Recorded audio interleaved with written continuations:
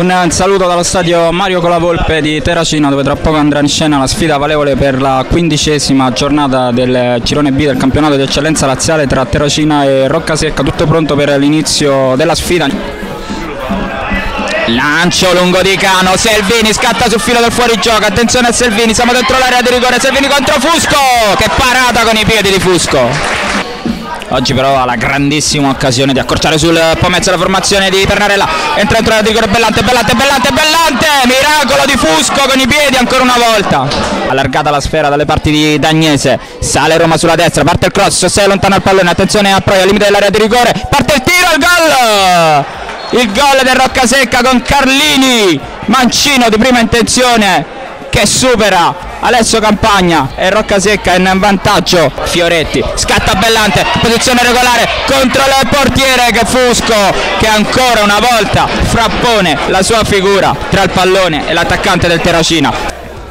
Imbucata dentro per Fioretti attenzione a Fioretti sterza converge dentro la di rigore calcio di rigore per il Terracina. Calcio di rigore per i Tigrotti c'è stato il fallo del numero 5 Dagnese su Fioretti momento chiave della sfida. Va Fioretti!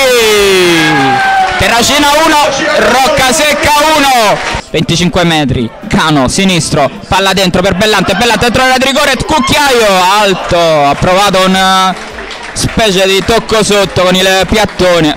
Poi Spirito siamo dentro l'area di rigore pallone sulla destra Spirito tiro fuori. Carlini Fioretti 25 metri sinistro deviato calcio d'angolo.